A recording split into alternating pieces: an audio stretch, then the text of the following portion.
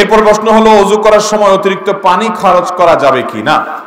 অজু করার সময় অতিরিক্ত পানি খরচ করা যাবে না। আমরা অনেকেই অজু করতে গিয়ে এই পাপটা, এই অপরাধটা, এই গুনহাটা করি।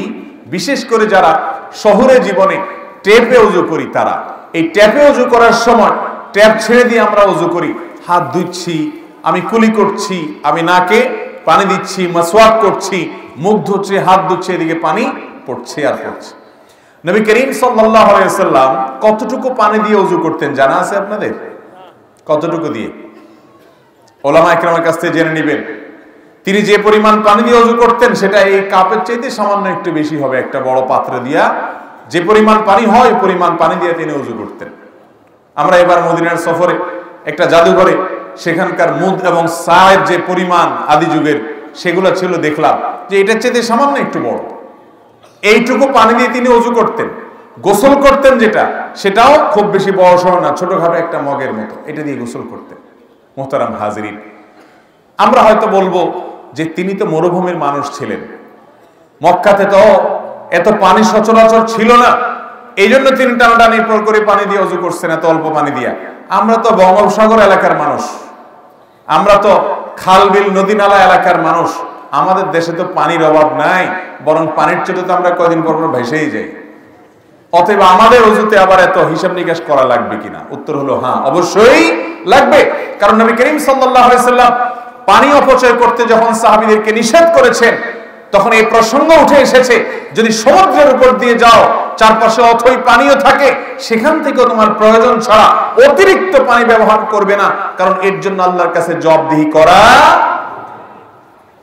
ওইটার জন্য যদি জবাবদিহি করা লাগে, অজু করবেন সেখানে অতিরিক্ত পানি ব্যবহার করেন, সেটার জন্য যদি জবাবদিহি করা লাগে, তাহলে ব্রাজিল, আর্জেন্টিনার জন্য যে পতাকা বানাচ্ছেন, হাজার হাজার টাকা খরচ করে জার্সি বানাচ্ছেন, জার্সি কিনছেন, অপচয় করছেন, বিনা প্রয়োজনে অর্থহীন ভাবে এটার জন্য আল্লাহর কাছে হিসাব দেওয়া লাগবে কি লাগবে না? আল্লাহ তালা আমাদের বিবেকগুলোকে জাগ্রত করে নেন।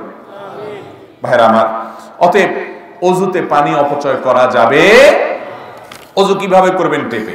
ট্যাপ ছেড়ে দিয়ে হাত ধুয়ে কুলির জন্য পানি নিয়ে হয় ঘন ঘন কুলি করে ফেলবেন, আপনারা ট্যাপ বন্ধ করে একটু একটু করে নিয়ে ডান হাতে পানি নিয়ে কুলি করবেন, বাম হাতে ট্যাপ বন্ধ করে নেবেন। বারবার বন্ধ করবেন, চালাবেন। এবং মুখে পানি নেওয়ার জন্য পানি নিয়ে টেপ বন্ধ করে তারপর ভালো করে ডলবেন। আবার হাতের জন্য টেপ চালু করবেন। টেপ একটু বেশি বেশি করে বন্ধ চালু করতে হবে, কিন্তু সরসর করে পানি পড়তে থাকবে।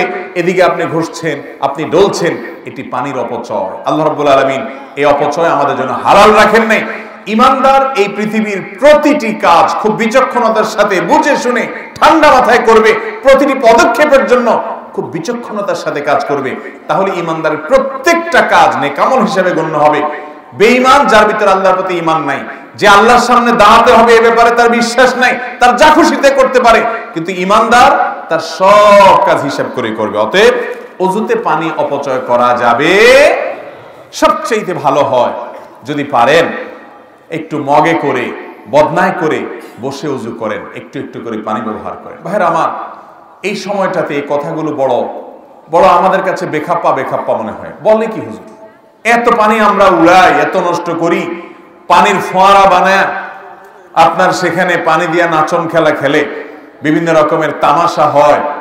আর উনি বলে, কিসের উজুতে পানি করতে একটু হিসেব করে করার জন্য? ভাইরা আমার, যারা জান্নাতে যাবে, এ মানুষগুলো সমাজের মূল স্রোতের বাইরে চলা অল্প সংখ্যক মানুষ। জান্নাতে কি বেশিরভাগ লোক যাবে, না কম সংখ্যক লোক যাবে? কম সংখ্যক লোক যাবে। অতএব জান্নাতে যাওয়া মানুষগুলোর চিন্তা ভাবনা হবে ইউনিক, ভিন্ন ধাঁচের, গতানুগতিক চিন্তার বাইরে। তারা কোরআন এবং হাদিসের বাইরে এক চুলো চলবে আল্লাহ আমাদেরকে অজুতে এবং অন্য সব ক্ষেত্রে পানি সহ সবকিছু অপচয় করা থেকে বেঁচে থাকার তৌফিক দান করুন। একটু পানি অপচয় করলে যদি এরকম জবাবদিহিতা করা লাগে, তো যুবক ভাইয়েরা আমার, বিশ্বকাপ মাদরার নামে যে সময়ের অপচয় করছেন, ঘন্টাকে ঘণ্টা অপচয় করছেন এই সময় পানির চাইতে কত গুণ দামি? এটার জন্য আল্লাহ কাছে জবাবদিহি করা লাগবে না? আল্লাহ আমাদেরকে বুঝার তফিক দান করুন।